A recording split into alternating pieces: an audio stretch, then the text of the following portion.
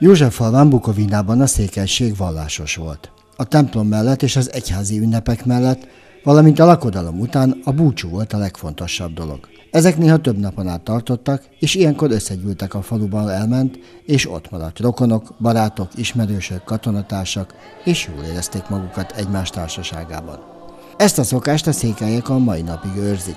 Ennek megfelelően augusztus 20-a környékén az új kenyérém is az államalapítás ünnepe mellett a régi szokás felelevenítésére, a hagyomány továbbéltetésére is felhasználják. Mindig azt terveztük, hogy bukovinai székelyek lévén, és már talán 34 faluban is, településen is vannak székelyek,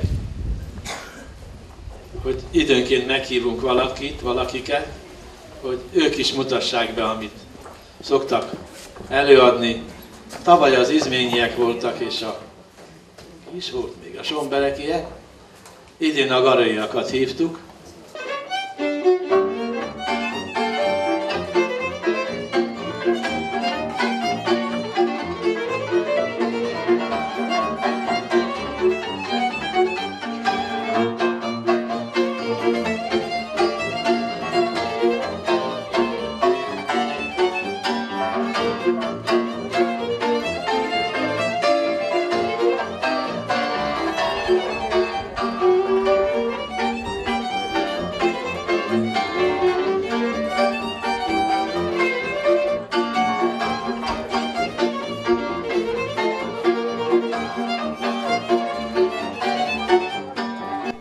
bátaszéki székelyek idén kapták meg tevékenységükért a Próvót emlékélmet azért a munkáért, amelyet az itt élő székelyek hagyományaiért és szokásaik életben tartásáért tesznek.